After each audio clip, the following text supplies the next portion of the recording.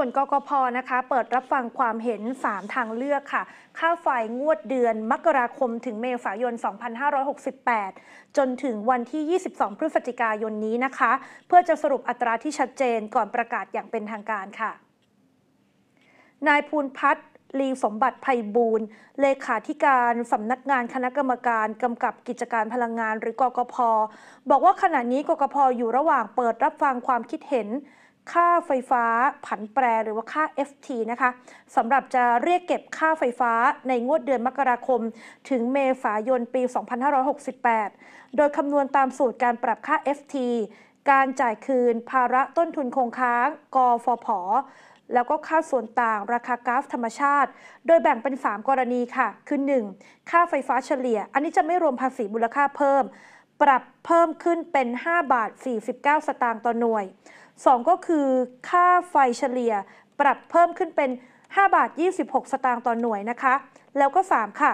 ตรึงค่าไฟก็คือเท่ากับงวดปัจจุบันอยู่ที่ 4 บาท 18 สตางค์ต่อหน่วย โดยจะเปิดรับฟังความเห็นผ่านทางเว็บไซต์ของสำนักงาน กกพ ตั้งแต่บัดนี้จนถึง 22 พฤศจิกายน 67 ก่อนจะสรุปผลแล้วก็ประกาศอย่างเป็นทางการต่อไปนะคะ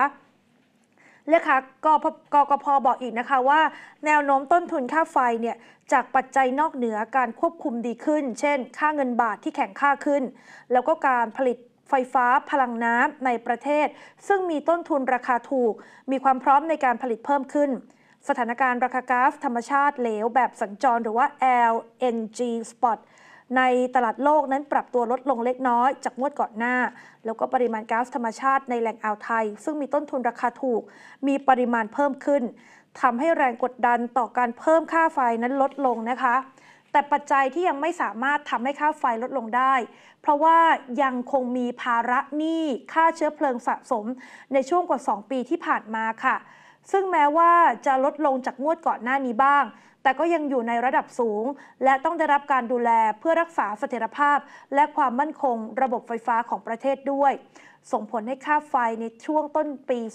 2568 นั้น อาจจะต้องมีการปรับค่า FT ขึ้นนะคะ เพื่อจะได้คืนหนี้คงค้างให้กับทางกฟผและปตทค่ะ โดยจะทยอยคืนหนี้คงค้าง ควบคู่ไปกับการลดผลกระทบต่อการปรับค่าไฟฟ้า